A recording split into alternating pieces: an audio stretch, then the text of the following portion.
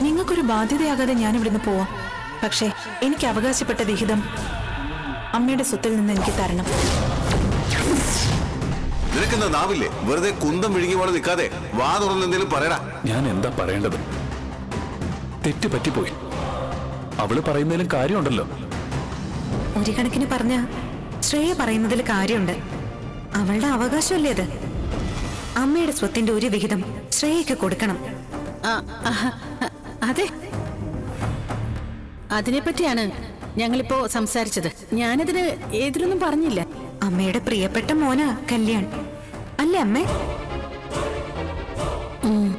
കല്യാണിനെ രക്ഷിക്കാൻ അമ്മ എന്തും ചെയ്യും. സ്വത്ത് മാത്രമല്ല വേണ്ടി വന്ന അമ്മയുടെ ജീവൻ തന്നെ തരും.